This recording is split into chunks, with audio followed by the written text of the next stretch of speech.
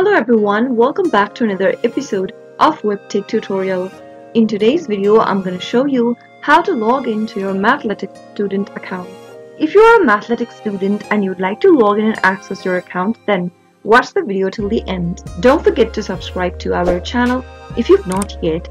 Press the notification bell so that you'll never miss another upcoming upload from us. Open up a web browser of your choice to get started. In the web address bar, type in www.mathletics.com and press enter.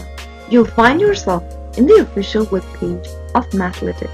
Mathletics is an online learning platform where students can take part in an interactive and engaging environment. To log in as a student, click the login button, mouse over to the sign in button at the top right and select student slash option. In the sign in area, type in your username or your email address associated with your account.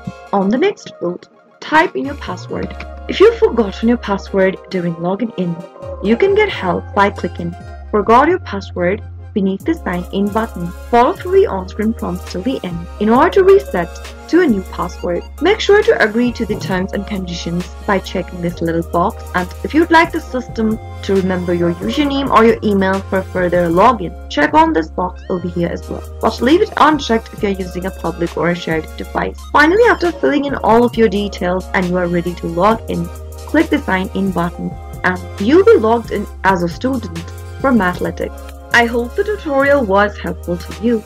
If it was, go ahead and give us a thumbs up. I'll be back soon with more videos like this. Thank you for watching.